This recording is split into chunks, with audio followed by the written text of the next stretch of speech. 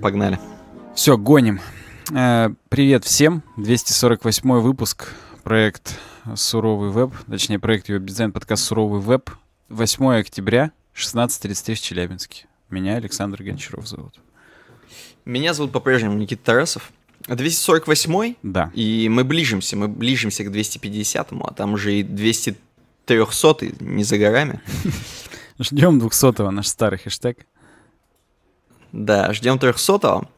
У нас сегодня для вас много интересных тем. Лично мои, которые я прочитал, мне показались интересными. Про Санина не могу сказать. Да.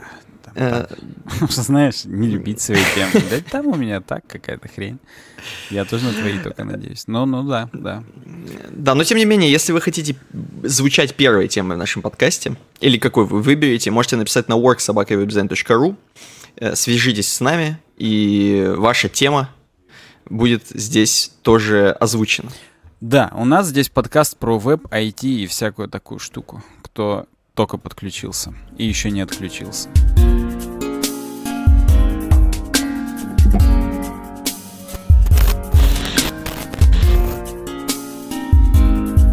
Переходим прям с места в карьер. У нас сегодня типичный блиц. Темок всего, наверное, 8, может быть, один. Не могу посчитать, не хочу даже. Я не хочу считать и думать еще что-то здесь. Ну, еще, учитывая, что у тебя не классные темки, то это вообще блиц. Да, вот Правильно? именно. Потому что первая не классная темка. Срок действия корневого сертификата Let's Encrypt истек. Миллионы устройств останутся без интернета.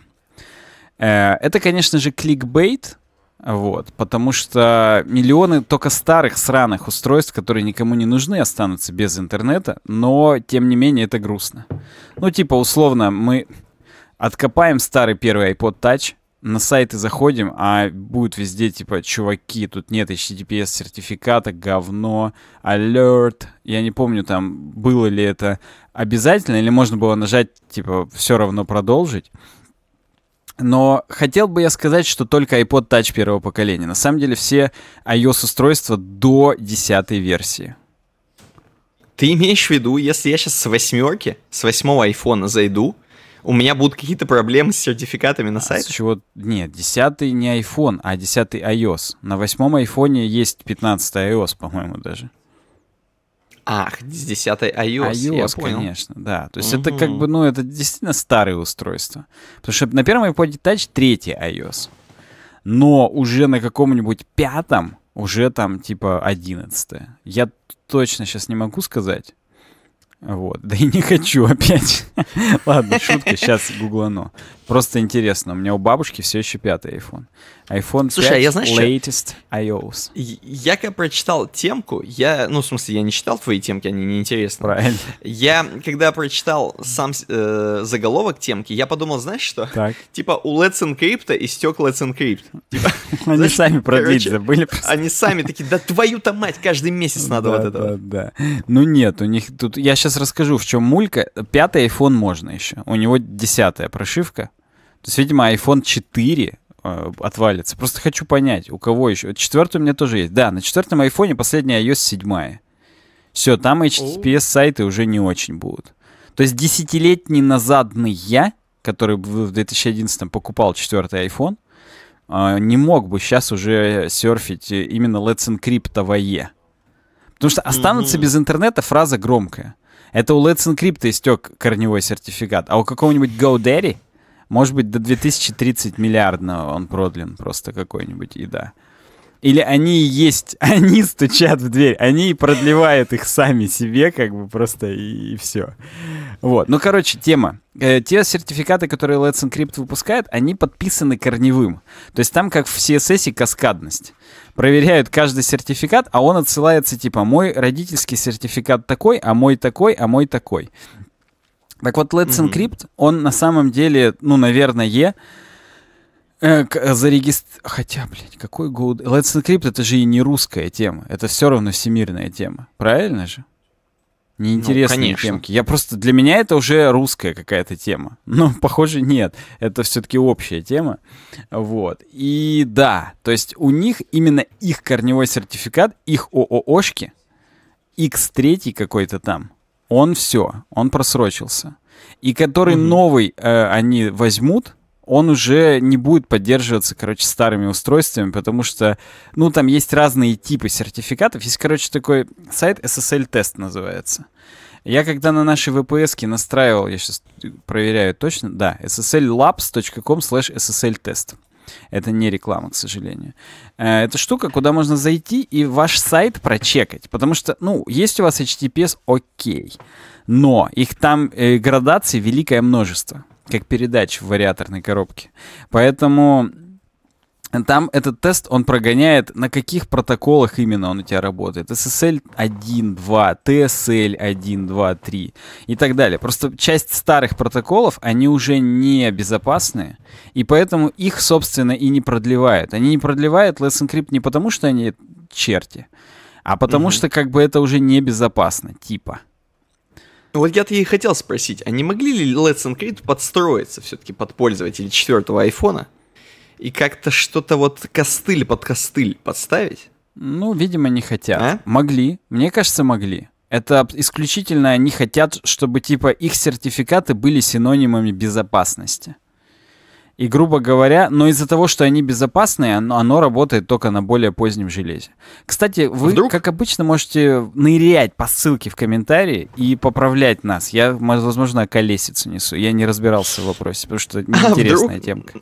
Ну, неинтересные темки, ну а вдруг, допустим, Так. ну а вдруг этот Тим Кук пришел к Let's Encrypt, постучал к ним в дверь и сказал, может быть, давайте, пацаны, там поменяете вид сертификатов, чё, кого мы там скажем, что у вас другой вид вышел, короче. Э, А на он, возможно, деле- пришел под ручку с статьей Наделлой, потому что Конечно. до сервис-пака третьего тоже отвалятся.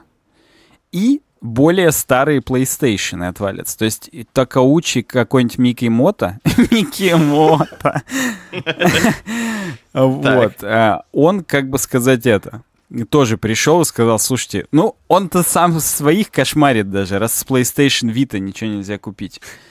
Вот. Вот именно, там Якудза пришла уже к Let's Encrypt и сказали, если вы сейчас не обрубите, то Микки Или- Мото вас или лично. так, да. Ну, короче, э, Ну, я я тут понял. это... Мне мои коллеги нальют чаю. Я им безмерно за это благодарен. С такими коллегами и враги не нужны, во-первых. Точнее, друзья не нужны. Потому что, ну, да. Так, сейчас... Как, как ты очень мило своих слуг называешь коллегами. Вот именно так. Пишу подкаст, я с ними созванивался. Все норм, это по грантам каким-то очередным. Мне соседи просто звонили, и Алине они тоже звонили, она не хочет им перезванивать, она спрашивает, что они хотели. Вот. Если вы нас слушаете, Татьяна Евгеньевна, Юрий Алексеевич, вы классные. Звоните сразу мне в следующий раз, я отвечаю всегда.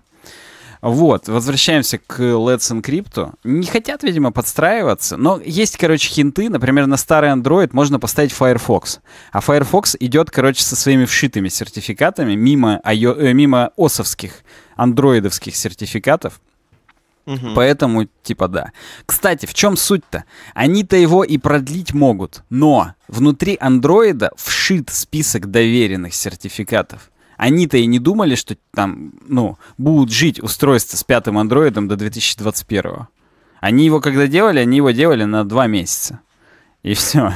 Ну, то есть, реально. И они, а поскольку операционки уже не обновляются, перевшить туда э, новый список сертификатов нельзя. Вот. Поэтому Let's Encrypt-то продлили, но о том, что они продлили, старые андроиды уже об этом никогда не узнают. Понял, да, мульку?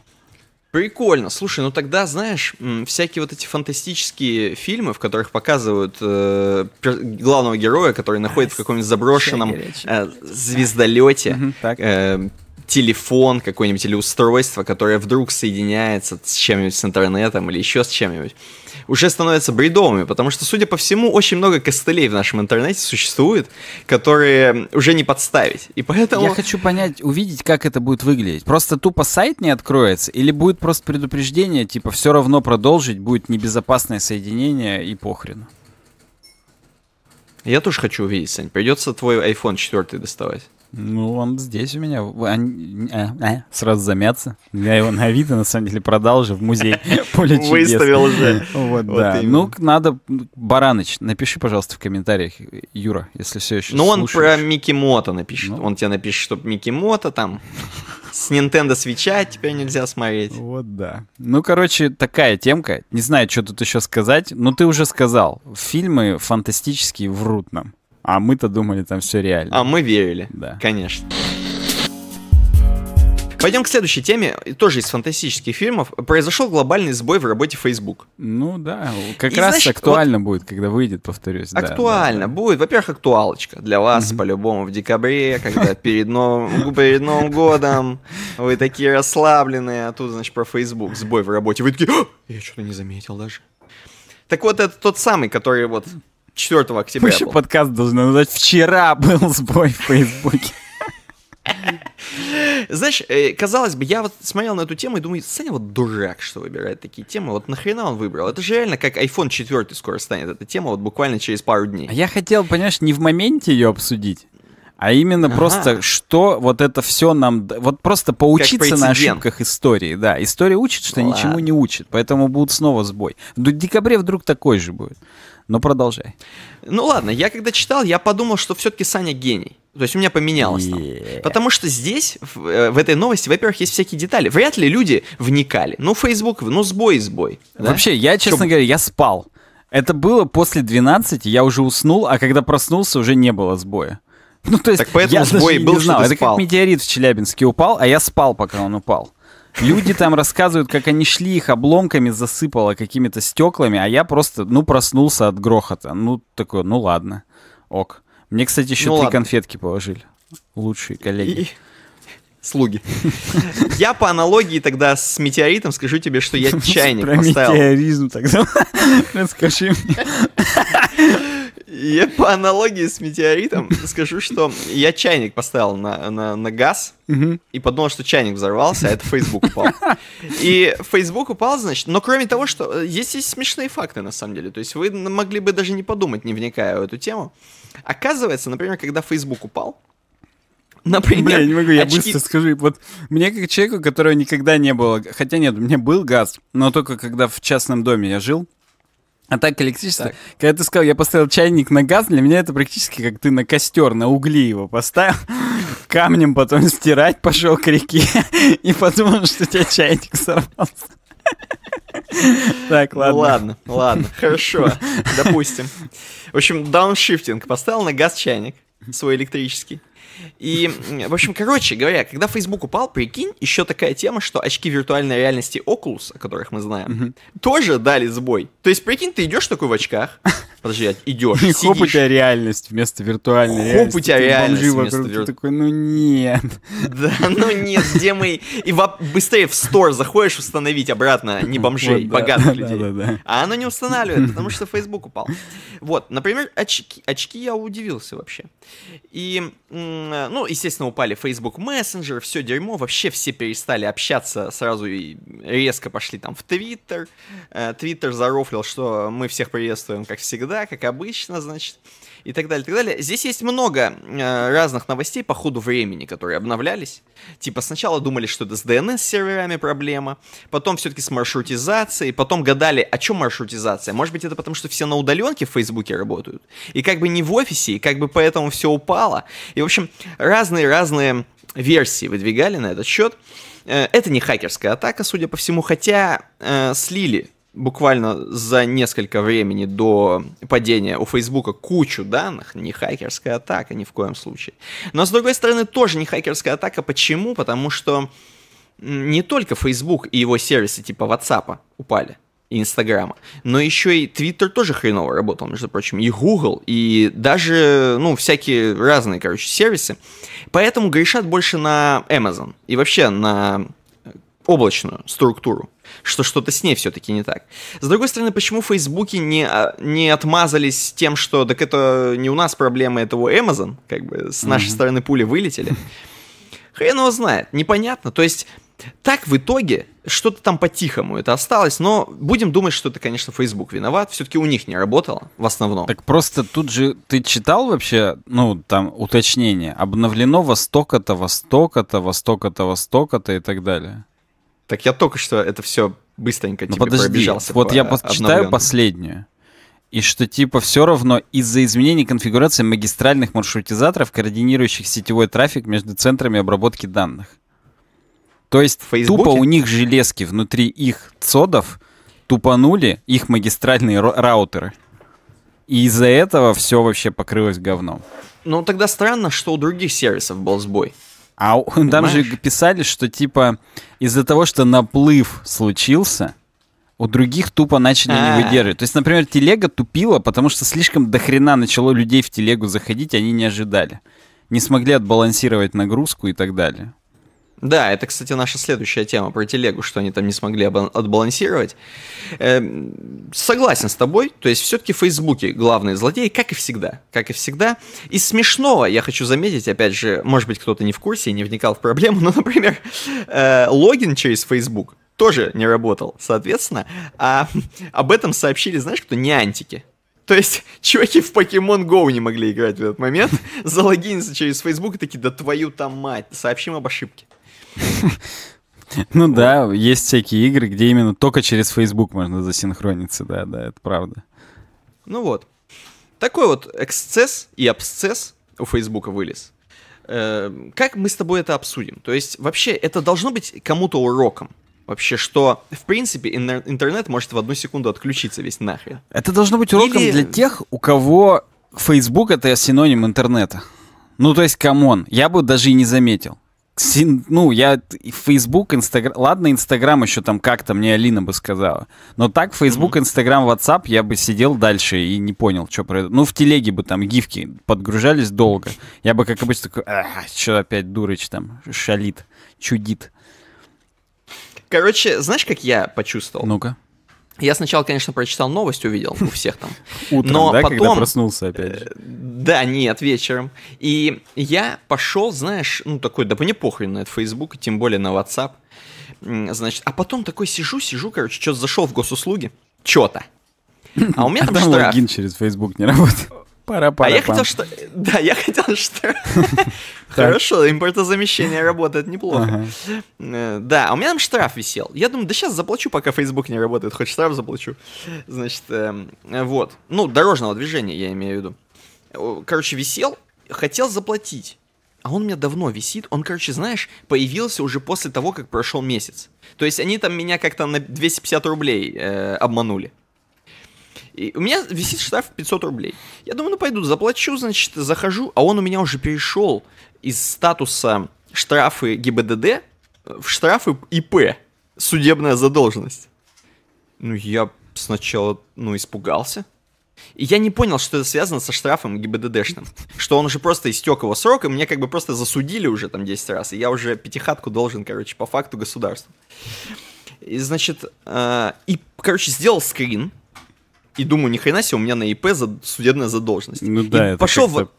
грустно. Страшновато, да? Ну. Я пошел в WhatsApp писать э, своей бухгалтерше. А, ну понятно. Захожу в WhatsApp, а там мне, ой, там по Ефремычу тебя... Экран загрузки встречает просто. да, да, да, да. Ну вот, короче, вот я вот на себе это, ну, конечно, в Pokemon Go еще не мог залогиниться, но это уже опустим. Вот да, это ты не хотел рассказывать, просто достаточно одной истории. Конечно. Мне Пойдем к следующей новости. пишет, что это... Мы В тут... WhatsApp? Да, да, естественно. Я- ты помнишь, что, или я не знаю, ты в курсе, что веб WhatsApp не работает, если рядом нет телефона твоего? Я знаю, что там логинится по QR-коду. Да, но еще и если нету телефона в сети, в WhatsApp, то есть если телефон отключить, то не будет работать WhatsApp. То есть он именно проксей как-то через телефон все-таки ходит. Прикольно. Или нет? Не знаю. Ну, короче, прикольно это то, что мне Алина написала, что типа... Мы- Я думал, прикольно то, что в попе больно. Ну давай. Да. Э, Кстати, я заменил резиночки на этом на подвесе на пауке. Не должно быть слышно, что я бью по столу. Ну, наверное, слышно все равно, что я сильно уже бью. Но Ну, ты как-то, как бы реально уже головой как будто стучишься, потому что я, я даже ну, на видео будет видно, что я так, как бы, ну, поддавливаю на него и так далее. Так вот, Ну, так э, мы покупаем этот э, сад, и пришли, Ну, пришло этот? свидетельство о смерти э, мужа Кого? хозяйки. И он умер за день до дня рождения хозяйки. И Алина написала, что вот как ты любишь именно обязательно испортить праздник, что он даже тут... Ведь чувак... Подожди, но он же не из-за тебя умер. Ну, в смысле, что он- я ей, типа, порчу день рождения обычно. А тут он А. своей жене испортил тем, что умер за день до этого дня рождения. Ну, слушай, э, есть к чему стремиться. Я согласен, да, до его уровня еще срать и срать. Чтобы... Да, это сложно. Ну ладно, я, я понял, я хотел сейчас сказать, что круче было бы сделать, но не буду. Нас не пропустят уже. Конечно. Не знаю, правда, куда нас, нас и так уже никуда не пускают, но вот еще куда-то не пустят. Вечернего Урганта. Вот, короче, э, ты, подожди, э, ты про телег, ты будешь открывать Давай. или у тебя откроют? У меня откроют. Короче, э, в итоге-то ты про Телеграм сказал или нет? А то я что-то... Нет, пойдем закрыла пелена с этими ватсапами твоими и ИП. Конечно. Я бы быстро про Телеграм. Про Телеграм, что, в этот момент, как только Facebook пал, Про него либо хорошо, либо никак в нашем подкасте, как про Apple почти. Да, да. Значит, оказалось, что э, Telegram зафиксировал 70 лямов новых юзеров. Новый рекорд. Без Фейсбука. И, соответственно, Дурыч сразу за- во- возрадовался. Он недавно там был немножко ущемлен, а тут возрадовался. Э, дескать, ну, пф, пф, пф, смотрите как. Я, опять же, приветствую всех. Э, у нас тут хорошо в Телеграме, присаживайтесь. Э, вот. И, конечно, да. Ну вот, поэтому они от этого выиграли. То есть кто-то, видишь, побеждает. Кто-то рекорды ставит, да. проигрывает. То есть тут как бы... А кто-то антирекорды. Он Да. еще там мне опрос замутил, сказать. ты видел, да? Но опрос я замутил про полную блокировку Телеграма. Ну только или- я так и не понял, это троллинг или это реально у него так бомбит или чё? Потому что У него бомбит. если реально так бомбит, то что-то это как-то даже грустно. Ты уже там Нет, супер а транснациональный CEO, там тут... В том-то и дело. Вот я хотел про это поговорить, но я не знаю, есть ли смысл об этом в подкасте разговаривать. Ну давай попробуем.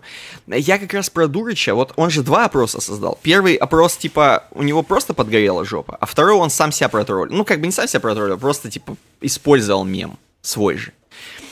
И, значит, э, я-то хотел сказать наоборот, что Дурыч, Дурыч, мне кажется, более пока что человеком, который, ну, мне больше импонирует, как человек, который ведет какую-то вот э, такую хрень типа э, Телеграма, чем, например, Facebook. Или чем, ну, WhatsApp, например. Потому что действительно в WhatsApp ты не достучишься до людей, которые им управляют, и им вообще по боку любые там какие-то заявления в их адрес и так далее, и так далее. Вот как бы было, чтобы если бы... Да кого? прикинь, Это вообще э, там рептилоиды уже. Там это какой-нибудь Да, совет ватсапный. Там нет человека. Это не- ну, да, прикинь бы, Цукерберг обижался, что он рептилоид. Так Ну, нет, такой, ну типа, кого? не- Это смешно. чё? Он даже обижаться это уже не умеет, скорее всего. Да, да, но мне здесь импонирует то, что хотя бы Дурыч хоть на что-то реагирует. То есть у него все-таки жопа подгорает с чего-то. То есть он хотя бы еще не полностью Ну, машина. потому согласен, что если бы он- да, да. Он да, да, если бы он У них еще полностью стартап все машина, еще.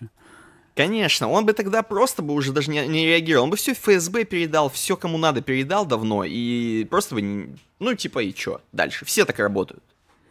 Вот, а он еще что-то у него подгорает. И то, что подгорает, мне кажется, что это все-таки, ну, лучше, чем когда не подгорает. Ну, в этом отношении, да. Если вспомнишь, что мы веб-панки, то Да. как бы хочется Я про опять это, это... не забываю. Ну, тут как бы ему сильный бойкот все объявляли, что типа вот, там, ботов заблокировал туда-сюда. Все, там, практически выходим из Телеграма. А тут э, можно теперь наоборот обратно зайти. По этому мему с мышонком, который выходит, заходит. И да. Это же мышонок голубой. Ну, какой-то, да, там какой-то персонаж. Идем дальше. Давай. Что ты какую-то паузу такую сделал, как будто ты думал, идем мы дальше или не идем. Да нет, не, не думал. Что там? Куда мы денемся-то, да. Твоим неинтересно. Да, к неинтересным.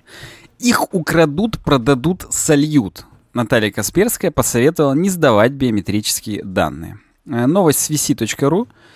Вот. Э, Причем, по-моему, на предпросмотре была фотография Натальи Касперской, а тут что-то нету. Ну, что-то да, мы бы так Она зак- посмотрели. закэшировалась, видимо, а потом решили убрать все-таки. Типа, да ну. Биометрию убрали все. Во-во-во-во. Короче, э, она, как мы знаем, президент группы компании InfoWatch. И они как раз занимаются тоже всяким таким. Не знаю, чем они занимаются, блин, дерьмо. Ну, кажется, чем-то таким. Сейчас посмотрим. InfoWatch, группа компаний. Может, они часы просто делают? Информационные, согласен, было бы нормально. Российская компания, специализирующаяся на информационной безопасности в корпоративном секторе, защите корпорации от утечек информации, целевых атак извне. Около 50% российского рынка систем защиты конфиденциальных данных. Короче, она как раз занимается тем, чтобы не украли, не продали и не слили. Но, видимо, ее профессиональный опыт показывает, что их украдут, продадут и сольют. Ну да. Вот. Это все про биометрические данные. То есть, на самом деле, я сначала, когда увидел этот заголовок, я подумал, что она против корпоратов, опять же. Что, типа, не сдавайте биометрические данные, потому что вам потом начнут выкручивать руки и так далее. Официальная mm-hmm. позиция, например, Сбербанка какая? Чтобы ты сдал биометрию, голос и так далее. И фотку там, видео туда-сюда. Чтобы кроме тебя никто не мог карточкой воспользоваться вообще. То есть, типа, так. типа, это безопасно. Но это Но может на деле... тебе и в ногу выстрелить, когда ты будешь лежать с простреленной ногой и дашь карточку жене и сказать, а, иди сними денег на бинт. она не сможет, потому что только ты должен подойти к банкомату, своим голосом сказать «да», или там что-то типа того. Ну и, и фотография должна быть подхожа с камерой там на банкомате. Ну, короче, ей не выдадут денег, и ты умрешь от пере этого крови. Естественно, это все будет да, перед да, днем да, рождения. вот именно. Поэтому я как бы поэтому не сдал биометрию, например, ни в Сбербанке, ни в госуслугах. Слушай, я думаю, что наша с тобой биометрия, в том числе даже, мне кажется, про нашу кровь все знают, когда мы еще поставили прививки. Это во-первых. Вот Во-вторых, когда мы еще на гарнитуру подкаст записывали, уже тогда наш голос был слит, украден Кстати, и продан. Да. Кстати, да. Но по факту, вот, допустим, да, про нас как минимум есть биометрия, что мы с тобой сдавали прививки. Правильно, правильно. Зачем ты на весь подкаст об этом сказал? Сдавали прививки. Сдавали. Это самое важное. Мы сдавали на прививки. Мы их не Я просто сдавал. И ты, ставил, что ли? Я сдавал. Да. Так. Вот, короче. И там по-любому капелька крови-то твоя просочилась куда-нибудь на лацком. И ее хоп, и все. И там знают про тебя каждую частичку твою. Тебя могут нового Саню Гончарова создать, если захотят. Ну, это правда. И другого такого уже не сделать. Ну, это как можно бы. сравнивать потом, вникать как-то, что-то думать. Но я согласен. В этом отношении можно думать, что да все уже на заборе написано, как бы и да. Но она-то даже не про, против Сбербанка, а про то, что у Сбербанка украдут, и уже тогда это реально на заборе будет написано. Но да. поскольку, поскольку мы задано взяли, что оно и так на заборе написано, то, видимо, можно и сдавать. Что, знаешь, изменить точку зрения прямо на подкате. Ну, ну ладно, сдам. Нет, на самом деле, конечно, не сдам, но вот мы, собственно, это и обсудили. Пишите в комментариях, что думаете. Вот. А вообще да. тут как бы есть и некие факты. Что в ноябре 2020 года Минцифры, оказывается, есть такое, рассказала о планах ввести цифровые паспорта, водительские права и другие документы в России в 2021 году. 21 год заканчивается, что-то, по-моему, не очень. Не, ну вот есть приложение госуслуги авто, я уже говорил, я как будто пиарю это приложение. Mm-hmm. Нахрен оно мне надо, но я его установил. Mm-hmm. И там-то вот э, предлагают, конечно, чтобы у тебя уже были цифровая СТС, по-моему. Э, я даже от цифровой трудовой книжки на работе отказался. Ага, но это тоже, кстати, палео. Это, кстати, вообще палео. Вот я тоже такой думаю, блин, я даже думал не столько палео, а сколько я сейчас так сделаю, а ее где-нибудь не принимают такую. Ну, типа, знаешь, вот электронные больничные начали внедрять еще, когда я в поликлинике работал в семнадцатом году. И где? Угу. Все еще с зелеными бумажками все ходим. И реально, тут в какую-нибудь компанию такой, а вот мне вот выписал врач электронный больничный. А тебя в твоей ООО InfoWatch такие говорят, копию мне завтра принеси, а то мы тебе не выплатим за больничный. И все, и ты обосрался. Ты обосрался. Ты я только в поликлинику идти из твоего электронного больничного распечатывать. И то, там скоро в поликлинике бланки перестанут завозить. Они же там пронумерованные, там вся фигня. Больничный ага. это так-то уголовная тема. Если тебе врач выпишет больничный, а тебе его нельзя было выписывать, ну типа, mm-hmm. чтобы ты такой, чтобы почилить, то ее ну. посадят no. или его. У нас в поликлинике угу. была такая ситуация, что у, одной, э, у одного врача была судимость именно. Что типа она не... Осуждена? Ну да, она была осуждена, вроде как условно. Вот, что типа неверно выписала там больничный, ну какие-то такие темы. То есть это серьезная хрень. Поэтому я вот не перешел на электронную трудовую книжку, и вот в результате мне надо было сейчас, как обычно, кредит одобрять. Как обычно, я так-то супер кредитный чувак. И мне пришлось ждать из Москвы свои справки, копии трудовых там и так далее. А так я бы на госуслугах выгрузил трудовую просто и все. Вот. Прикольно, Но я прикольно. не поддамся пока. Пока. Не поддавайся. Вдруг не я поддавайся. через год изменю свое мнение, но пока нет. Вообще, давай, давайте не будем все поддаваться, предлагаю. Ну, я могу сказать, кому можно поддаться. Вот э, следующая наша темка. Это Ну-ка. безлимитный хостинг 2.0. Вот здесь я точно не изменю свое мнение по поводу... Не, а там-то мы уже загрузили все Ка- вот, там точно на заборе уже написано. Но суть в том, что э, вот у смарт-тейпа-то ничего не меняется. И мое мнение о них не меняется. И твое, Никита, мнение о них не меняется, я уверен.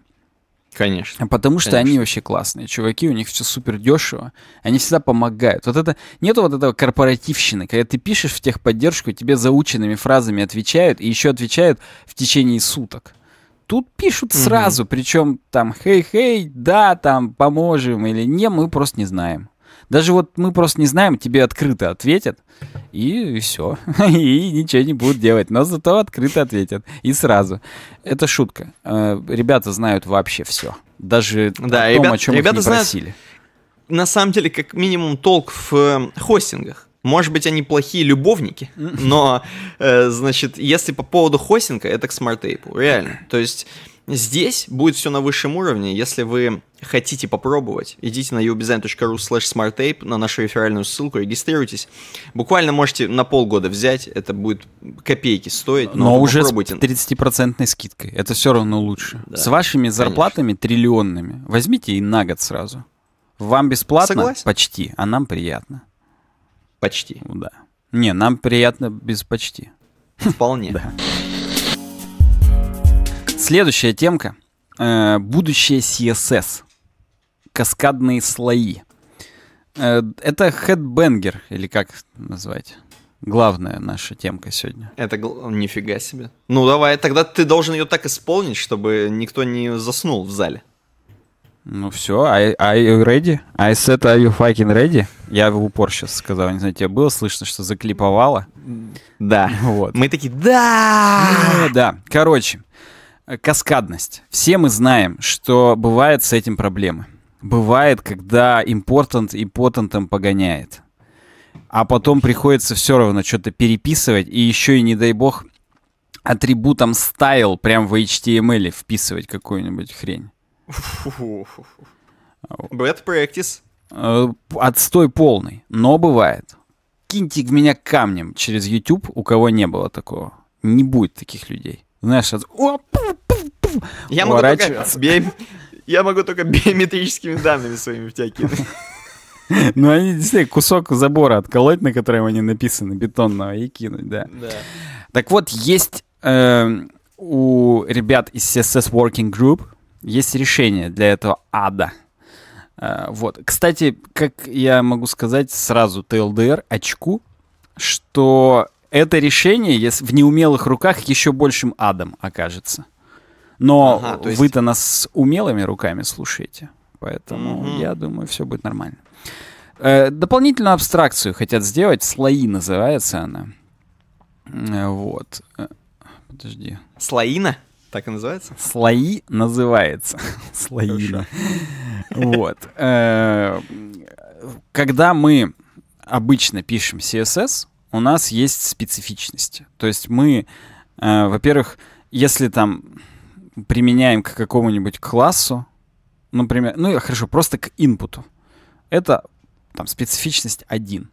Если мы ставим э, вложенность форм input, то есть как будто, ну, то есть э, инпуты внутри формы, это уже специфичность 2. Оно перезапишет дефолтное правило для инпутов. Если мы сделаем у этого инпута класс .input, специфичность Мгм. будет уже 10. Ну, на самом деле не 10, а там такая трехмерная специфичность. У нас с тобой был когда-то прям подкаст. Я не знаю, здесь появится где-нибудь что-нибудь. Не знаю, может. Да, ничего не Короче, в теории здесь появится подсказка, по которой вы перейдете по ссылке, а лучше в поиске. Просто вбейте CSS специфичность и веб-дизайн. Там я прям рассказывал э, все тонкости, циферки, что айдишников там самое высокое, импотентов там еще выше. Но если мы именно про каскадность говорим, то мы можем вот таким образом уточнять, уточнять, уточнять. Типа что, а вот с айдишником еще перезапиши цвет. Ну и там и так далее. Так вот, э, здесь, ну и сам, самое базовое, это в каком порядке. Если ты один раз написал input color gray, а после этого там где-нибудь попалось, что у input все-таки color red, то правило, которое идет позже, оно перезапишет первое. То есть даже банально order of appearance, это, соответственно, пятый пункт, э, он как бы и играет роль в том, как, э, в каком порядке применяются стили и какие останутся, собственно, примененными. Так вот, иногда так бывает, что нужен еще один уровень э, абстракции между этими всеми правилами, потому что, э, ну вот, допустим, я должна какой кейс привести, потому что конкретно здесь, в этой статье, не приведено ни одного реального кейса, здесь всякий бред указан. Вот я поэтому даже его читать не буду. Вот. Но да положим, что вот какие-то узкоспецифические формы, на одной странице у нас есть. И вместо того, чтобы именно делать какой-нибудь там айдишник у этой страницы и к айдишнику этой страницы применять какие-то стили, можно сделать слои. Слои пишутся через э, ключевое слово layer, ну, через собаку в начале, как они сейчас все делают в CSS. Вот. Сначала mm-hmm. были медиа-запросы, потом этот, как его, supports добавили, ну, вот теперь layer например. И, соответственно, через layer, ну, анимации тоже через него были. Через layer мы определяем название слоев. Короче, слои — это просто тупо еще одни уровни э, специфичности, грубо говоря. То есть у нас есть эм, контекст, атрибут style, потом специфичность, потом порядок э, расположения. То есть по каскадность, по которому важность определяется. И вот мы теперь между style атрибутом и специфисити, специфичностью, то есть именно там класс, это айдишник и так далее, добавляем еще слои. А слои это просто еще как будто CSS, я даже не как это объяснить, как будто типа CSS файлы. Вот, объявляем сло, с, слой reset. В нем к любым, э, к этому, господи, универсальному селектору, к звездочке, э, делаем margin 0, padding 0. После этого создаем слой какой-нибудь base, в нем еще там margin накидываем 10, 20 и так далее. И, соответственно, все правила из слоя base, они перезаписывают правила из слоя reset, если они пересекаются. Это все, собственно, имеет смысл только если это э, есть какие-то пересечения. Если просто везде разные классы написать или там разные правила, они просто также в порядке, так сказать, появления применятся, и все. Можно было слои никакие не делать. Тут именно вопрос в пересечении. Грубо говоря, мы еще по какой-то методологии разделяем, что вот, это, вот эти у нас правила только тут мы их определяем уже не как там какой-то, что вот все, что внутри этого класса, это одно. Или не в том, что раз мы их в начале все подсоединили, значит вот э, они будут самые первые, а потом их будут все поверх перезаписывать. Не, просто мы в самом начале определили слой reset, в него накидали весь, э, все, все как бы самое базовое, поверх него уже перезаписываем темами, какими-то другими кастомизациями. Ну и тут э, показано, как это пишется непосредственно, ну, через собака layer, кстати, имя не обязательно. Но если мы делаем просто собака layer и открываем сам слой, то мы к нему потом не сможем ничего дописать. А здесь, если мы слой назвали, Э, в, как, в порядке, каком они первый раз появлялись, будет их значимость. То есть тот, который появился первый, он самый беспонтовый, тот, который появился последний, он всех перезаписывает.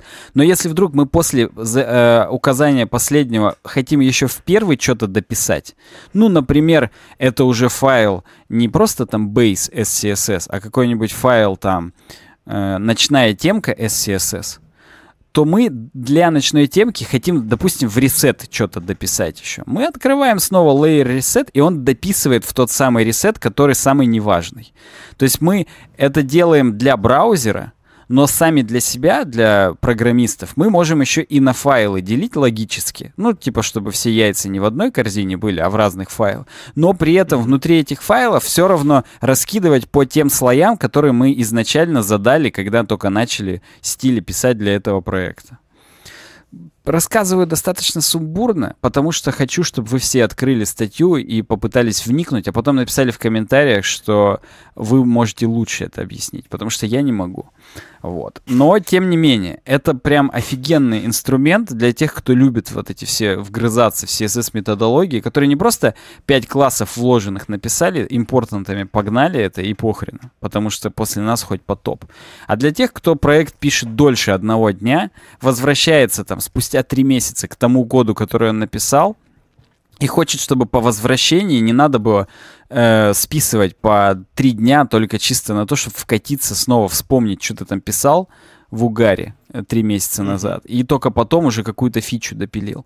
Я вот на самом деле вот в этом проекте именно, который у меня сейчас текущий идет, сильно опять пользуюсь всякими CSS-ными штуками, которые я на канале рассказывал еще там 6 лет назад. И все еще такой думаю, блин, это гениально вообще. Все это настолько ускоряет работу именно, когда ты сам же что-то допиливаешь, даже через месяц. Ты просто mm-hmm. открываешь, и прям вот видно все легко. Ты просто берешь и дописываешь нужный кусочек или там меняешь какой-то, и все. Тебе не надо искать по файлам, где-то там выдумывать что-то. Все названия уже сами говорят за себя, вся вложенность, все там э, наследования и так далее. Короче, блин, SAS — это офигенная хреновина. И то, что они обычный CSS... Кстати, э, автор или тут уже даже, может, и авторка. Ну, короче, там чувак пол сменил, и сейчас, похоже, обратно меняет. Но я запутался, поэтому... Это тот, Мне кажется, там что-то напутано с каскадностью. Видимо, да, он слои создает, походу. Но он реально, это чувак, который Сьюзи сделал, систему гридов. И а, изначально это мужик с розовыми волосами. Потом это женщина с розово-рыжими какими-то. И сейчас он что-то опять меняет. У него в Твиттере прям в статусе написано, типа, я опять меняю пол или типа того. Э, я Понятно. как бы, ну, когда будете смотреть, может быть, уже опять что-нибудь изменится в декабре. Ну, в декабре. Да, поэтому да. как бы там сами проследите. Сейчас зовут Мирьям Сюзан. Его, ее. Ну, а, пока вот. не обратно вроде не до конца ушел. Ну, как-то да. То, может быть, Пол меняет имя, нет. Как бы тут Эрик изначально он был. Эрик Сюзан, потом Мирьям.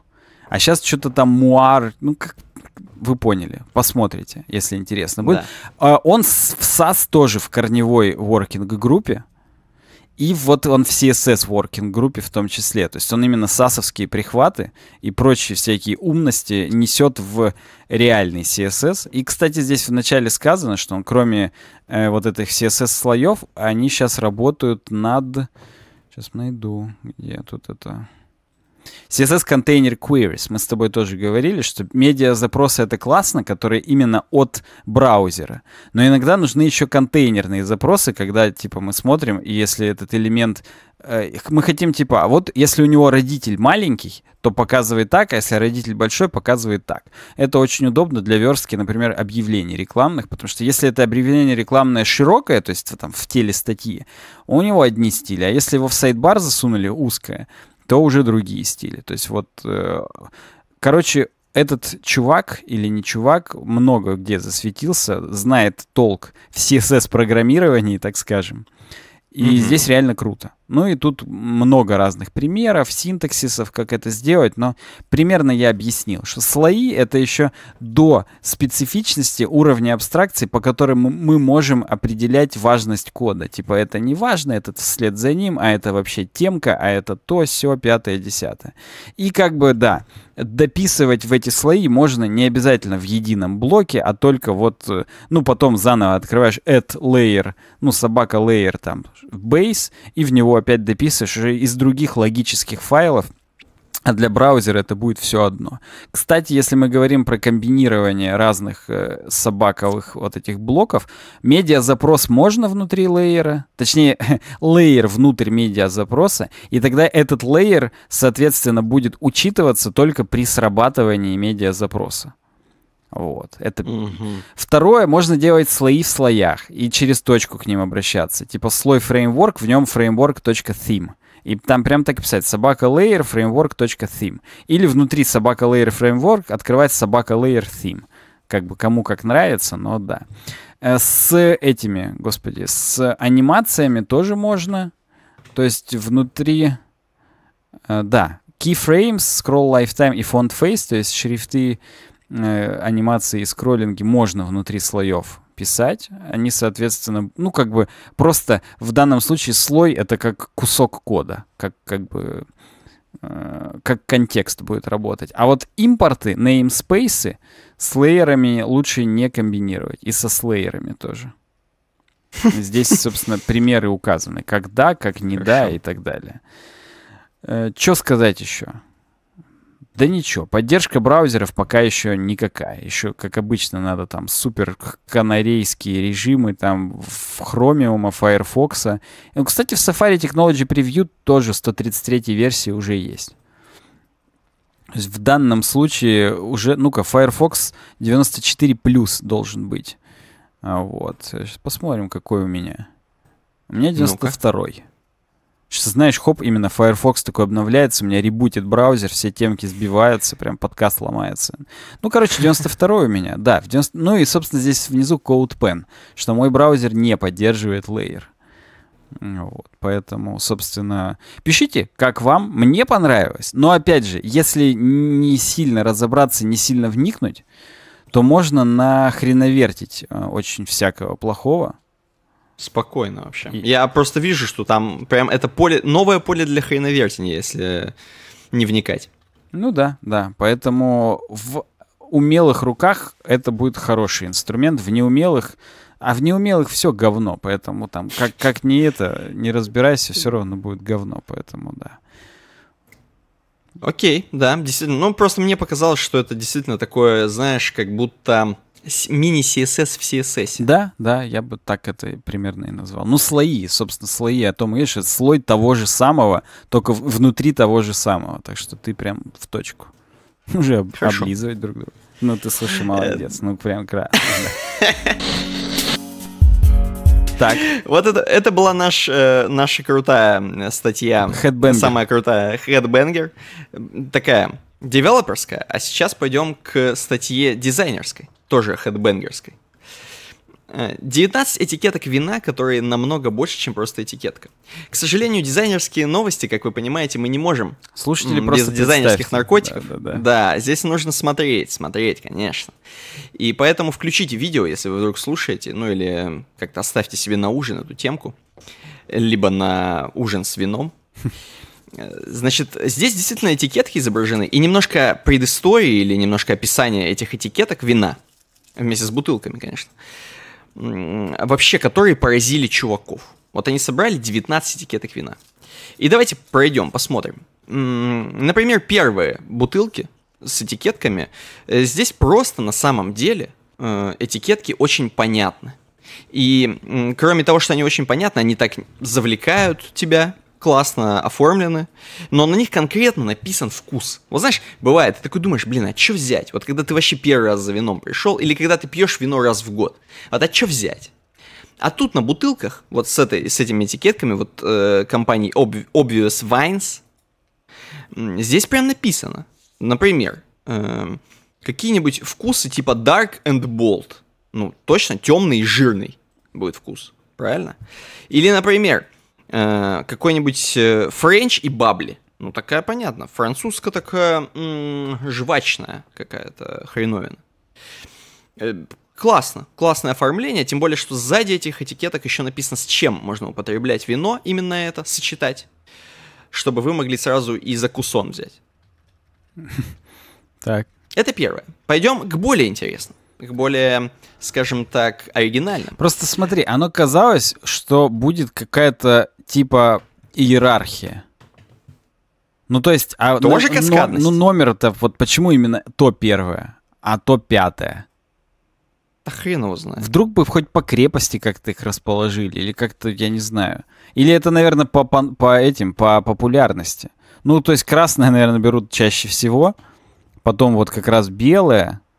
Ну, Хм, цифровая градация легко позволяет ориентироваться как, поль- как пользователям, так и сотрудникам внутри компании, какая, к- когда Ну, составляются это различные понятно. Мы отчеты. там первого купили тысячу тонн, второго там две. Ну, это все, в общем, просто упрощает. Не надо говорить там Савиньон Блана австралийского купили. Да, а просто номер второго, третьего. Да, да. Да. Но хотелось бы, конечно, чтобы цифры что-то больше значили, чем просто, блин, первый, вот первый, а второй, ну ладно, это я уж так. Просто что мы же здесь дизайн сейчас обсуждаем, а дизайн он с UX как бы.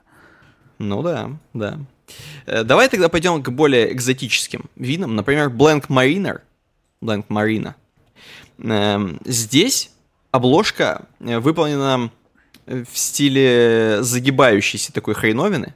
Как будто там чувак, который вот ловит, собственно, рыбу на лодочке, как будто отогнул чуть-чуть обложечку и, собственно, ловит рыбу прямо из вина. Вот. Точнее, он как будто вот зацепил случайно крючочком обложечку и потянул. Интересное решение. Э, давай дальше пойдем. Финка де ла Рика. Фин, финча де ла Рича. Я, к сожалению, не могу в испанский и вообще ни в какой, тем более в русский. Но поэтому не обессудьте, особенно любители испанского вина, а таких много, в том числе и я. Да и я сам. Э, Вот именно. Но вот на Финке Деля Рике здесь дополнительный интерактив с теми, кто пьет, а особенно мне нравится, что когда ты все выпил и надо бы чем-то заняться. Конечно, в России все именно этим занимаются, что здесь представлено на обложке, а здесь на этикетке вина нарисовано, например, по точкам соединять, как бы рисунок по точкам. Сделать его, соединить по номерам, и у вас получится цельная картина какого-нибудь э, места в Испании, скорее всего, где разливают. Э, Либо э, соединить некоторые слова, которые вы вот э, на пьяную голову себе придумаете из букв, которые здесь есть. Ну, такой вот интерактивчик небольшой с пьяным, с как бы заигрывание с пьяницей, я бы сказал. Есть еще вот, например, лабиринтик, чтобы на бухую голову пройти его по-бырому. Тоже прикольно. Да, пойдем дальше. Э, Еще одна оригинальная этикетка у The Cost Vineyard. Или Vineyard. Не, Вайнярд было круто.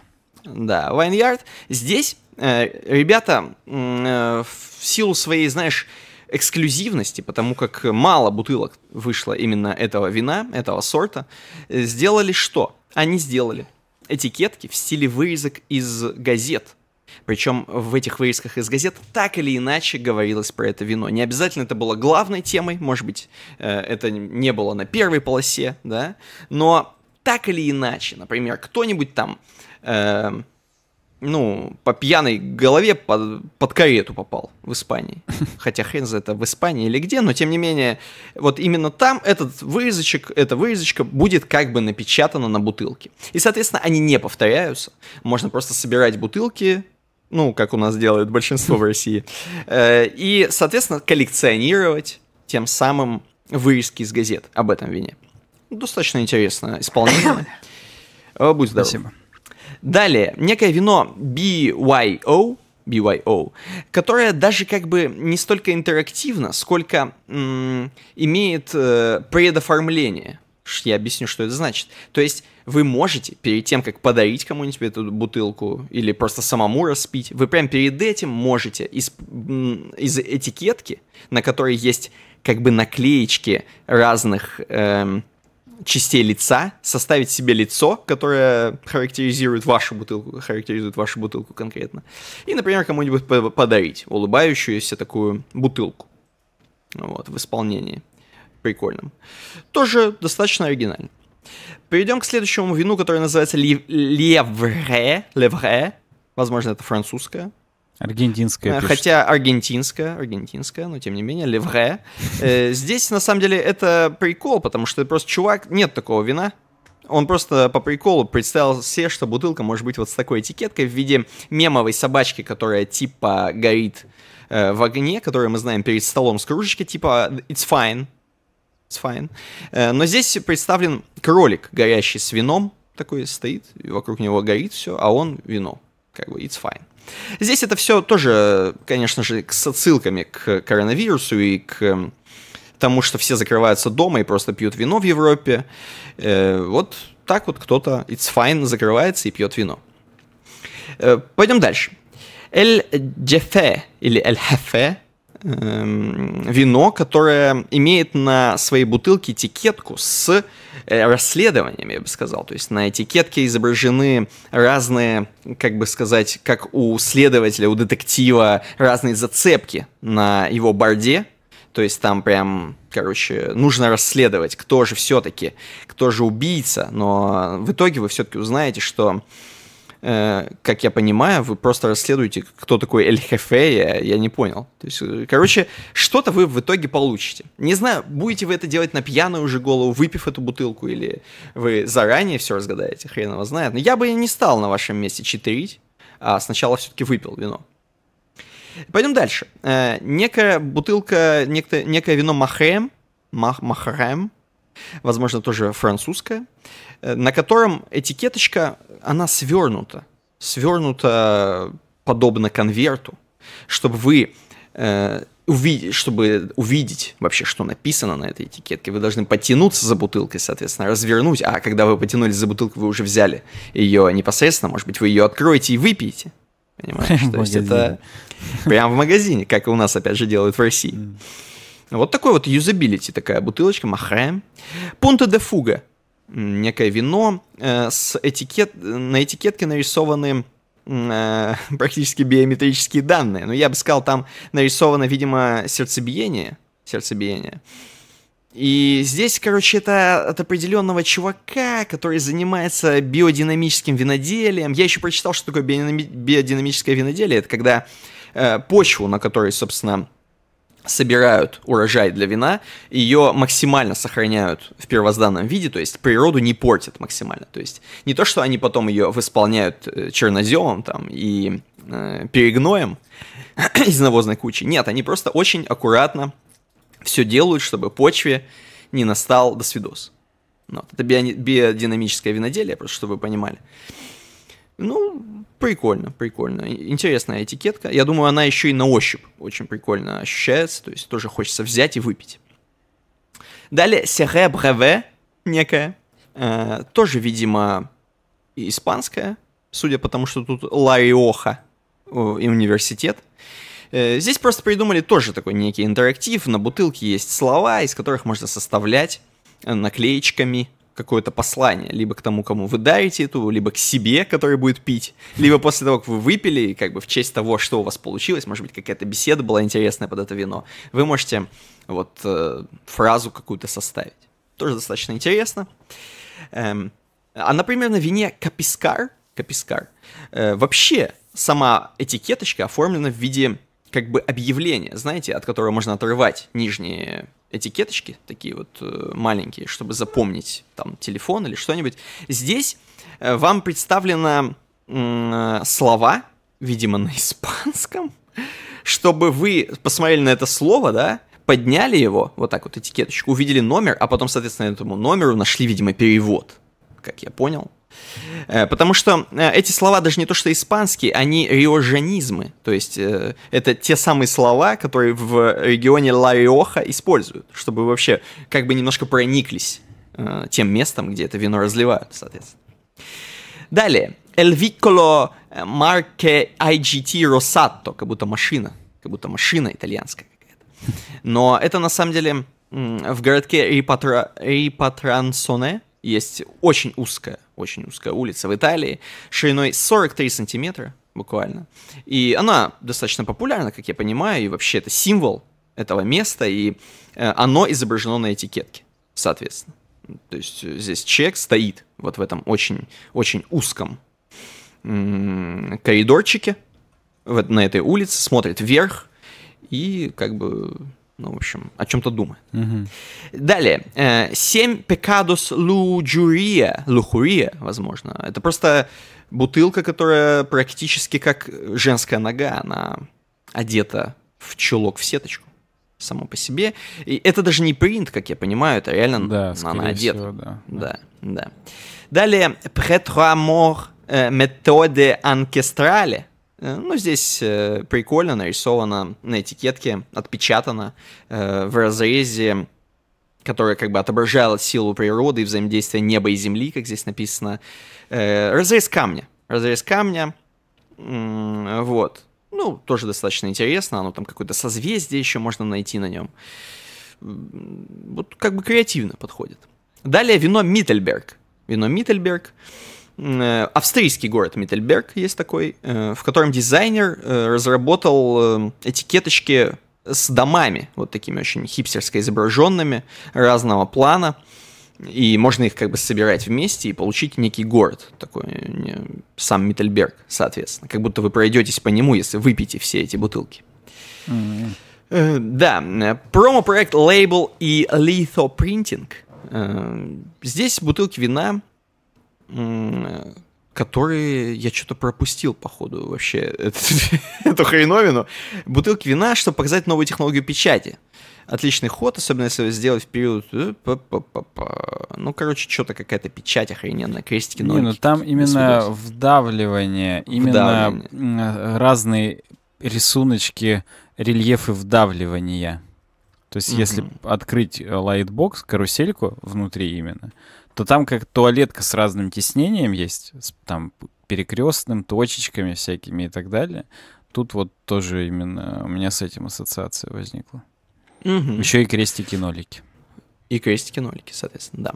А, Далее так вино... это опять, это стикеры, крестики-нолики. Ты опять можешь, видимо, поиграть да, на бутылке. Да, да, да, да, еще и поиграть. Но как бы сам каждый крестик и каждый нолик, они вот с разным тиснением еще дополнительно. Мне кажется, на, на такие бутылки даже приятнее садиться.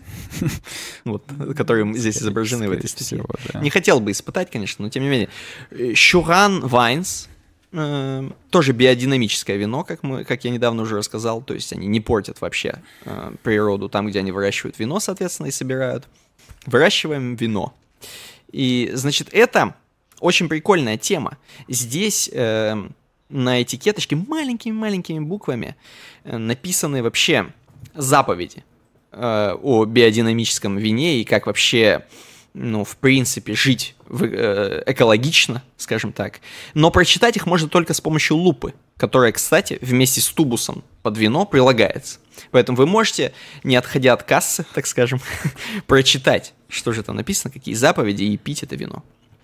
Далее, э, проект Marsoig V Solidari.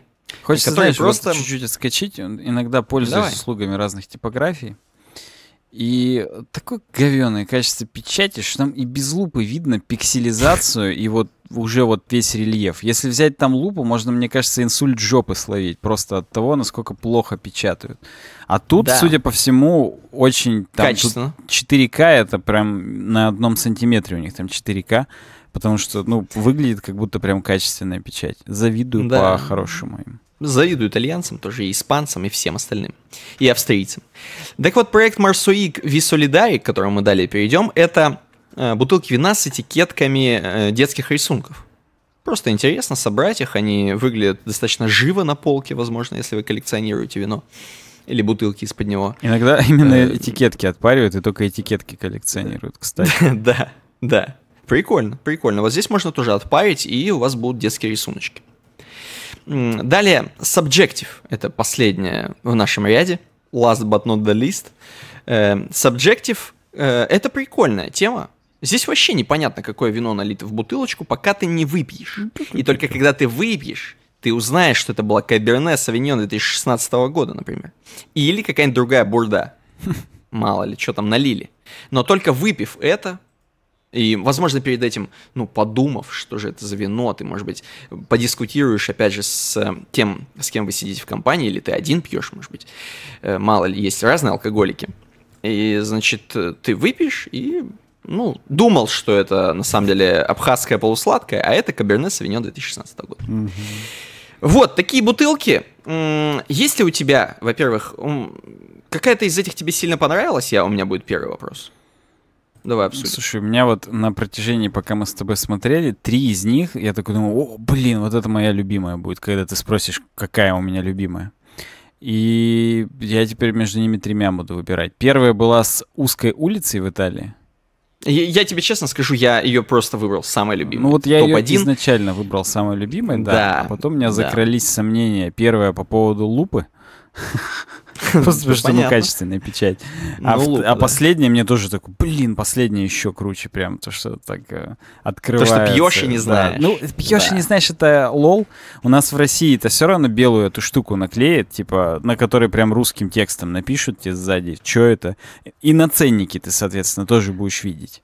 А там unknown будет написано. Uh-huh. Destination. Uh-huh. Просто вино. Вот, uh-huh. да. Но прикольно. То есть мы же здесь оцениваем даже не столько степень именно, знаешь, что я бы вот такую купил, сколько степень дизайна, самой концепции Конечно. и так далее. Конечно. Поэтому вот это три моих фаворита, я бы даже не буду между ними какую-то иерархию, хотя нет, сделаю. Эм, с лупой самое последнее место — с, на втором месте с вот проявляющимися буковками, ну и на первом с Италией. Все-таки оно, конечно, Да, да я почему тоже хотелось бы теперь остановиться, раз мы с тобой, у нас с тобой это сошлись вкусы в вине. Mm-hmm. Э, вот это вот Il Vicolo марки IGT Rosato, где реально чел стоит на узкой улице, mm-hmm. э, оно короче, очень настроенческое вино. Вот пока ты его пьешь, ты действительно сам как будто этот чувак, который стоит э, на очень узкой какой-то 43 сантиметров просто буквально. Улицы в Италии, смотришь куда-то вверх, э, думаешь о чем-то, пьешь вино это, и практически можно вот визуально посмотреть, но как будто перспектива раздвигает эту улицу, пока ты стоишь на ней смотришь вверх, как будто ты э, как бы своим сознанием можешь раздвинуть эту улицу и подумать о чем-то вечном, посмотреть на звезды там и просто помечтать. Поэтому это охрененная бутылка. Вот я, я бы вот такую купил, вот если бы мне представили вот из всех этих. Ну, еще я хотел бы отметить просто, я люблю, когда вина одной и той же хреновины они, ну, в стиле одного и того же нарисованы, их можно поколлекционировать. Да, это да, прикольно, да, реально. Собрать себе несколько В этом смысле бутылок. Миттельберг прикольно, все домики Миттельберг, Миттельберг офигенно. Тем более австрийский город, все бы, наверное, хотели в Миттельберг съездить, так или иначе. Тем более, что, э, знаете, если, допустим, кто-то туристически едет в Австрию или там в Германию, конечно, посещают в основном какие-то туристически большие места, популярные, потому что все-таки, ну, не хочется останавливаться сначала в деревне какой-нибудь. А вот Миттельбергом, соответственно, можно прочувствовать рассказывать, как, а как в обычной, как в глубинке Австрии вообще э, находит, как, как там живут люди. Можно вот выпив эту серию вина, соответственно, прочувствовать это. Потому что да, я вот был во Франции в деревне, я останавливался и жил в Прованских Альпах, где 500 человек населения. Угу. 500. То есть там Сен-Дальма-Ле-Сильваш, как сейчас помню название. Так. И там охренительно вообще. И там нисколько не менее красиво, чем в Ницце, например. Я бы даже сказал более. Особенно для нас, как для интровертов. Там ну, просто конечно. топ.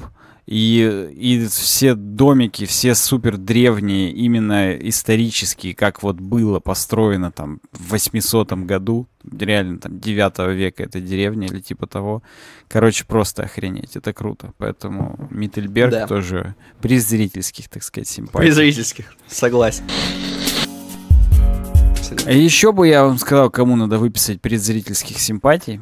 Э, ребятам, так. которые выставляются на patreon.com slash uwebdesign, то есть нам, тормознутому и картавому, картавому и тормознутому. Мне до сих пор калит, именно калит, что на этой обложке Саня не отзеркалил меня, когда ее делал. У меня ray в обратную сторону написано и челка в другую сторону.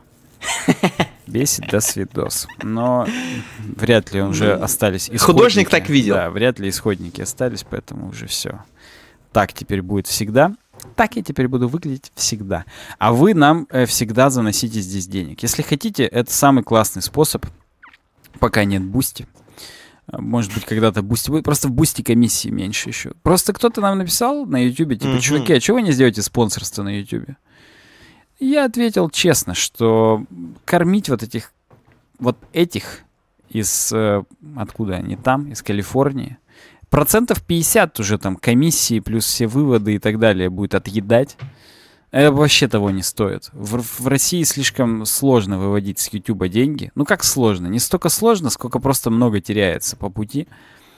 И еще и там поддерживать тоже туда выкладывать, что-то там писать. Ну, короче, come on. Patreon э, в этом смысле более демократичный. Там, по-моему, процентов 20-25 всего. Получается, в сумме полностью вот под ключ от вас до нас теряется. Угу. На Boosty угу. и того меньше, там практически на карту сразу кидают просто и все из Mail.ru. Вот. Но там могут проблемы с нашими уважаемыми э, зрителями, слушателями нек- некоторыми возникнуть. Э, вот. Поэтому пока мы полностью мы туда точно переходить не будем. Вот. Собственно, из-за проблем мы пока и не переходим ну, с нашими да, слушателями да, зрителями. Да, да, это правда. Из других стран. Вот именно. Но вообще patreon.com slash design это самый миссионерский классный способ нас поддержать. И тем более там дополнительный подкаст. Можешь, Никита, пару слов про него сказать? Да, там есть дополнительный подкаст под названием «Pre-шоу» э, перед подкастом, который мы записываем чисто просто по приколу от души. То есть это даже нас...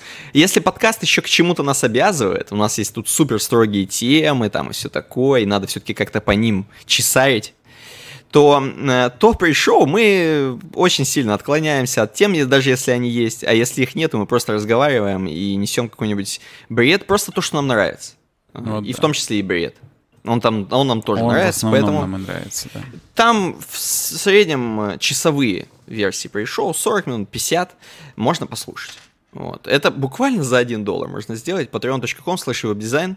Подписывайтесь, заходите, мы ждем вас. До свидос. Да, прям каждому рады, даже 1 долларовым патронам.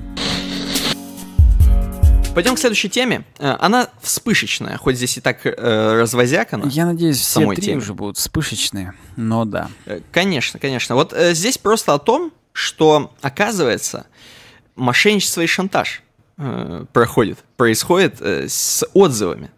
С, есть заказные отзывы, оказывается, на разные товары. Здесь пишет чувак, э, который э, сооснователь проекта ProExpert, ну, неважно, в общем, он делает пылесосы такая компания, которая, короче, делает пылесосы не умные, вот эти, которые сами ездят, ну вы знаете, mm-hmm. а те, которые на рукой возякать по О, полу. Еще такие. Да, собственно, почему он и развозякал здесь много текста, потому что он делает пылесосы, которыми надо возякать. Угу. И а, к чему это все? А все к тому, что у него все шло хорошо. Они разработали классный пылесос, который разошелся с хорошими отзывами, все такое. Люди купили его и нормально.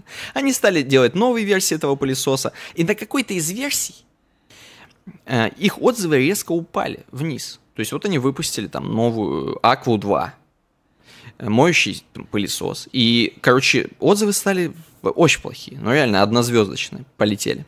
И они сначала, ну, естественно, на себя подумали, значит, просто версия хреновая. Начали читать отзывы, что там хреново конкретно, начали смотреть, пытаться, не спали ночами, думали, сделали хреновый пылесос, что сломали и так далее.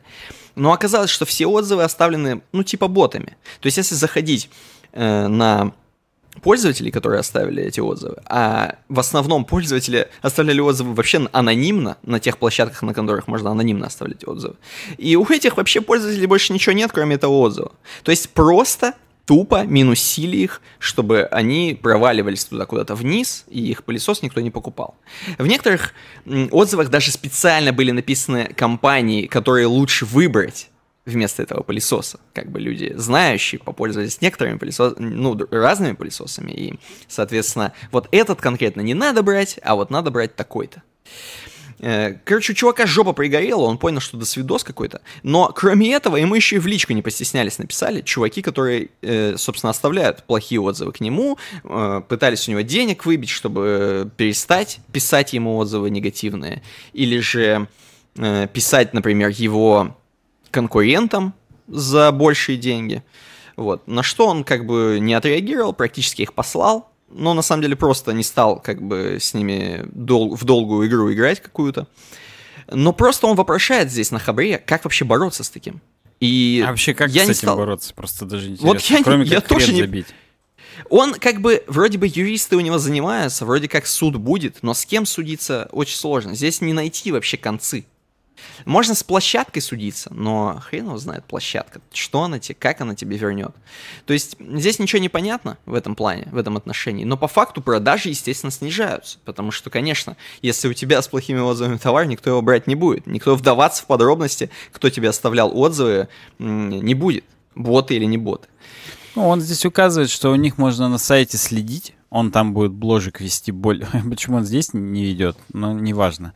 Э, у него можно будет читать на бложике про эксперта, э, про их внутреннее расследование. Вот. Да. Но, конечно, это полный отстой. Я, чтобы ты понимал, хотел узнать, а Darknet-то здесь при чем? Там, по-моему, что-то... Я не стал их переписку читать, но что-то там в Даркнете закупают эти плохие отзывы. Да, просто я вижу Даркнет и беру подкаст, в подкаст темку. А, ну вот, э, ну вот это всего лишь, что там было. Типа оттуда ноги растут, скажем так. То есть там закупают негативные отзывы. Как и все негативное в Даркнете. Mm-hmm. Ну, отстой тогда. Дальше у нас тоже э, чуть-чуть как бы негативного, но на самом деле позитивного, в общем и в целом. Э, десять лет, э, как не стало Стивича. Так. Вот. И... Джобсыча. Что еще раз? Джобсыча. Да, да, Джобсыча. Вот, и Айвич написал колонку. Он написал, сейчас скажу где. Не очень важно, Wall Street Journal. Но скажу, что на Wall Street Journal. Mm-hmm. Вот. И он там написал разные вещи. Во-первых, я не знал, я не знал. А Айвич ушел работать в компанию жены Стивича после Apple. Так. А я не знал, что, если честно, у Стивича даже жена есть. Не, ну ты чё, у него же двое детей. И... А, это та самая, где он, э, у которой требовал, короче, ДНК-тест на я отцовство. Не это, не вникал. Не... Да, это же... Это было как в каком-то фильме. Я, видишь, да, я даже ни один фильм про него не смотрел, но я понял, о чем ты, да. да Наверное, да, да, да, да. но другой вроде у него не было. Вот. И, соответственно, ну, он рассказывает о том, что дохренища они именно вместе работали, понятное дело. И рассказывал о том, что Стивич не тот человек, который вообще зацикливался там на деньгах, не на деньгах. Он именно горел работой в плане он был любопытный. То есть практически все, что он делал, он делал просто из любопытства. Ну, типа, а можем ли мы вот так сделать, а такой продукт создать? Ну и как бы мы понимаем, что наверняка какие-то из его идей, которые в итоге даже получили реализацию, поначалу, наверное, какими-то нереальными казались. Ну, то есть, блин, а вот, ну, хоть меня все и начинают говорить, что там КПК и наладонники были и до айфона, вот. Mm-hmm. Но вот те планшеты, которые были до iPad, это реально полное говно. То есть вот как минимум iPad это супер э, именно из как будто из будущего какой-то девайс. Да даже вот второй iPad. Первый iPad он прям чуть-чуть грузнее, чем второй был, а iPad 2 он именно со скошенными очень краями. Я как бы их не очень люблю, но это реально именно как из фантастического фильма. Он такой тоненький весь, а прям это целый компьютер, и все так пальцами легонько делалось с мультитачем. То есть, ну, это реально какой-то mind-blowing был в тот момент. Тоже в 2011 году он вышел, насколько я помню. Угу. Вот. И, наверное, когда он только махал руками в Apple и говорил, что вот надо, чтобы вот так было, все такие, типа, чувак, именно так, чувак, мы как бы, ну, вряд ли это вообще возможно. То есть это все равно, что сейчас я буду говорить тебе, слушай, Никит, надо завтра сделать летающую тачку. Мы просто взорвем мир. Представляешь, на воздушной подушке с турбо какими-нибудь реактивными двигателями. Ну да, я тебе точно скажу, чувак. Вот да. А мне кажется, что когда вот iPad еще не делали, а вот он только пришел с какой-то идеей, оно вот звучало примерно так же. То есть, ну хотя после айфона, может быть, не так это слово. Ну как бы вот это действительно все было очень революционно. И вот именно iWatch, возможно, потому что либо хорошо, либо никак. Возможно, потому что это правда. То есть он именно о Стивиче рассказывает не как о жестком тиране, который там издевался над людьми в компании, а как о чуваке, который его вдохновлял всегда открытым своим мышлением и вот этим вот mm-hmm. любопытством и так далее. Вот. И, собственно, он здесь рассказывает, например, в конце даже грустненько, что именно он сидел, когда Стивич умирал, практически его руку держал, и он, типа, у него на полу сидел, прислонившись к стене. Вот. И последнее, что ему Стивич сказал, что он будет скучать по нашим разговорам. Mm-hmm. Ну и говорит, что вообще я говорит, вспоминаю, что мы очень много провели времени вместе, но они работали около 30 лет э, совместно. И провели время именно много, что они просто в одной комнате молчали. Вот. И он именно пишет, что я всегда буду скучать по возможности не говорить с ним. Что типа вроде как они вместе, ну, в одной комнате, но не разговаривают. И, ну, не со всеми людьми ты можешь комфортно просто находиться и молчать. Ну, даже, наверное, не то, чтобы там своими делами какими-то заниматься, а просто там залипнуть или как-то это. Угу. достаточно трогательно. Даже в переводе, наверное, на русском, на русском, на английском еще лучше. Потому что Джонни Айв на русском писал. На английском, наверное, еще лучше это как-то будет трогательнее звучать.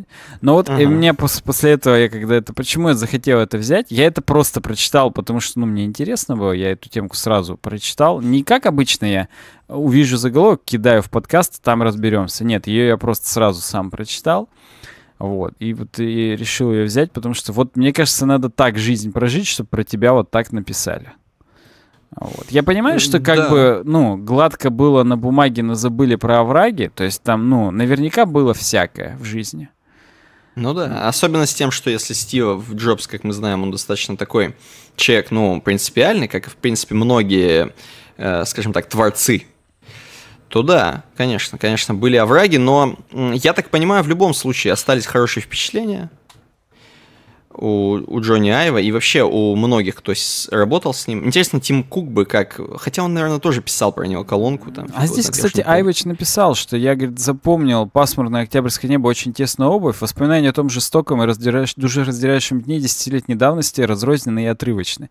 Но я помню, как потом мы долго молча сидели с Тимом в саду. То есть mm-hmm. Тим Кукач, он всегда где-то рядом с ними был на самом деле. То есть не то, что он... Это, не, это мы его как бы особо не знали. Он, видимо, какой-то все-таки менеджер, потому что даже при Стивиче он ничего же никогда не представлял. То есть он, ну, да, он как да. бы, ну, из них был, но он как серый кардинал, видимо, или типа того. Советник, да, да, походу, да, был, да. Поэтому, поэтому вот так. Круто, круто. Ну или не круто, просто грустно. Но хорошо вспомнить вообще добрым словом. Просто вот прошло 10 лет, и вот когда вот эти, знаешь, все говорили, вот при Стиве такого не было, ага. но есть в этом смысл. Ну реально, вот при нем вообще все было по-другому. Начиная от того, что презентации, вот я их ждал, как Деда Мороза условно. Сейчас угу. я их даже уже не смотрю, уже просто неинтересно. А вот при нем это было прям, вот это было шоу именно вот в том понимании, в котором может быть, что вот прям ждешь с замиранием, там, очередь, там, билеты какие-нибудь занимал, там, ну, если бы была там возможность, это как-то там, ну, понятно, из России, о каких билетах там речь. Хотя, ну, Вилсакомыч-то и ездил же в те-то года. Но он, по-моему, по инерции еще несколько раз ездил. Но сейчас-то угу. уже и забил. В том числе, я думаю, и потому что даже не из-за денег, а потому что вот эта магия ушла. Также и из продуктов. И это как бы мы вряд ли зажрались. Это просто вот, ну... Ну да, да. При нем все-таки это было как-то по-другому. Ну, вот. Поэтому, во-первых, рип, а во-вторых, рип. Надо, вот так надо прожить. Ярко, как минимум. Так что да.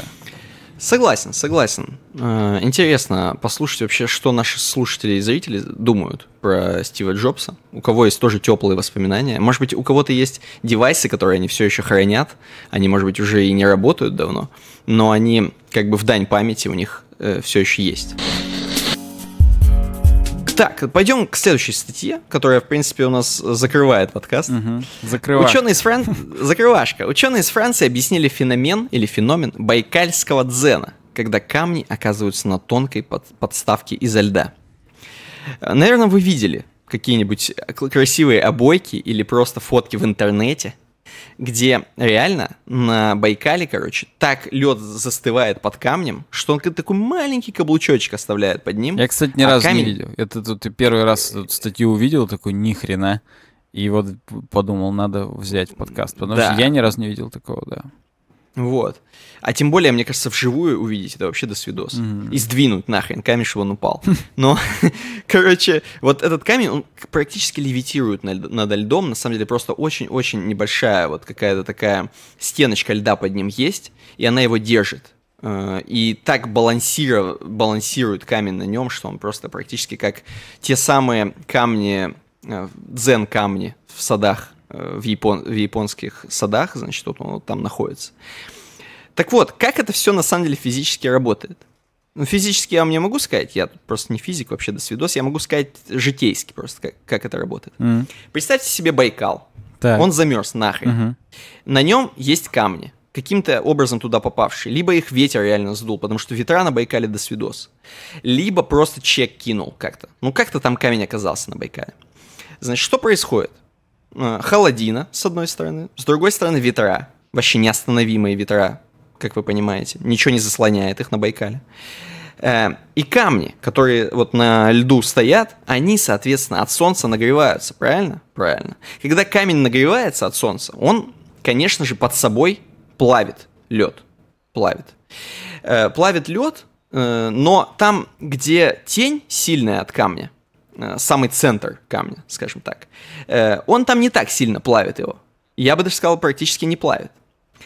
Но то самое, что он отплавил, этот камень под солнцем, этот лед не успевает э, как бы превратиться в воду фактически, потому что эти ветра просто выдувают лед вот в тот момент, когда он начинает таять. Просто выдувают его.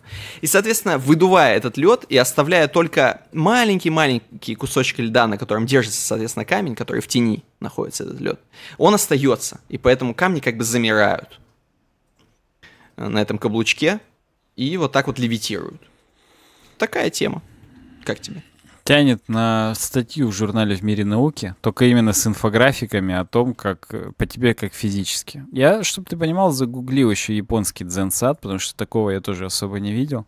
И там, как наш сад камней на Краеведческом музее, условно, просто камни ну, да. на траве и там около каких-то деревьев. Да. Я думал, там тоже именно какие-то из них конструкции. Ну, здесь есть, когда камушек на камушек на камушек складывают, но это уже такие угу. прям, кто... Извращения. Ну, ну, кто сильно подошел к своему дзен-саду и где, видимо, ветра нет.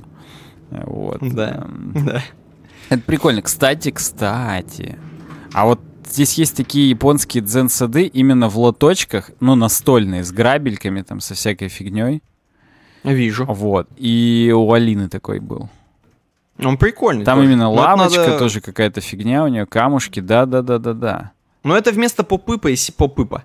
Попыта и Simple Dimple у тебя стоит, и ты иногда просто подчесываешь землю. Да, но у меня сейчас невозможно Песочек. это сделать. Ну, только в офисе, если потому что здесь нет ни котов, ни детей. Да. Вот. Но я, кажется... Только слуги. Да, да, я, кажется, задумался о том, что можно было бы себе сюда как-то это Прикольно. Я все да, хочу прикольно. себе еще... Хавортию взять в офис. У меня разрослось много, которые твоя мама передавала. И они а, уже все огромные стали, их надо рассаживать, как рассаду. И а, я хочу одну сюда в офис взять, как, ми... как минимум одну, а может быть и обставиться здесь ими. Ну ты возьми Хавортию и Хортицу. Возьму, возьми еще. Да. Круто, круто. Про Байкал охренительно. Кстати, я когда первый раз увидел Орел и Решку про Байкал, это первый раз, когда я Байкал увидел, ну, условно вживую. Это, конечно, не вживую, но типа на видео. Я охренел. Я думал, это, знаешь, типа живописное озеро в лесу. Ты выходишь, ветки так нависают, и ты такой хоп, и вышел. И здесь огромное озеро.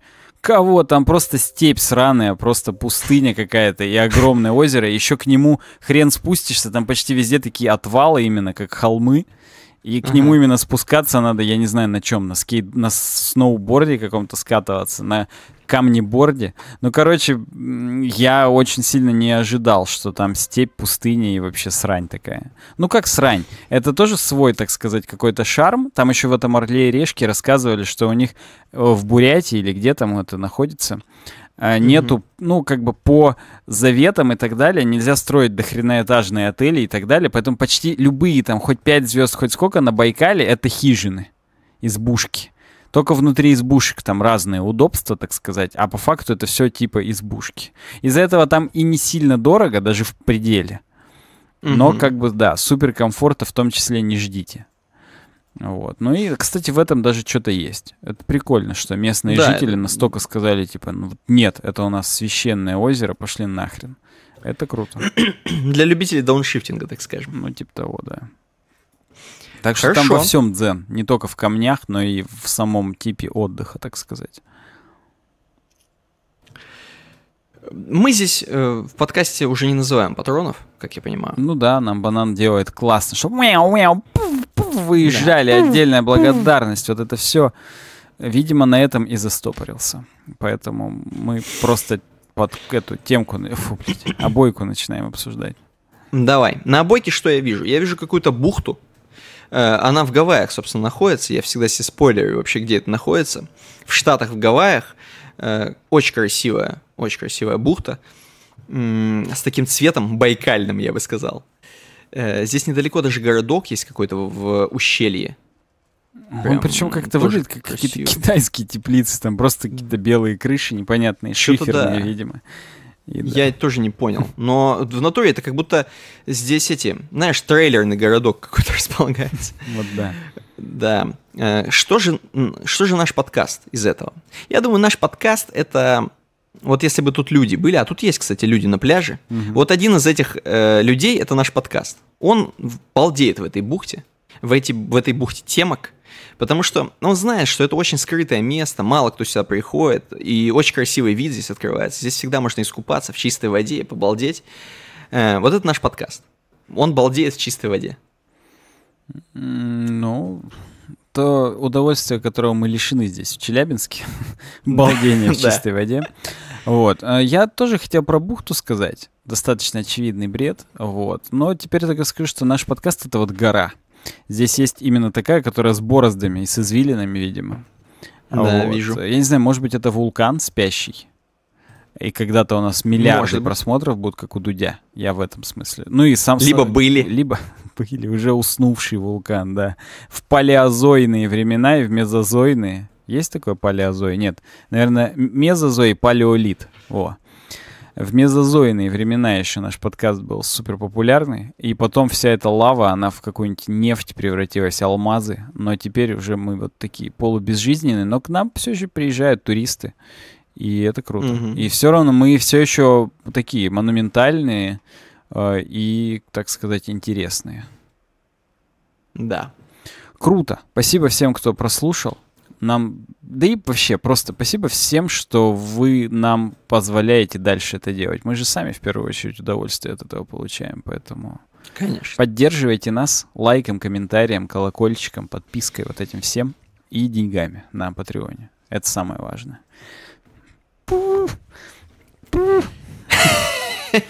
Вы еще идет запись, что ли? Да? Ладно, да. Все, до, следующей, до следующего выпуска. Надеюсь, как-то это выйдет все когда-то, что мы это не просто в стол пишем. А то Яндекс Диск скоро не сможет нам предоставлять столько места, сколько мы на сурсы в нем тратим. Сколько мы в стол записываем. Вот, да-да-да, поэтому... Всем удачи, пока, Никита, тебе тоже спасибо. Да, тебе спасибо тоже. Спасибо за игру.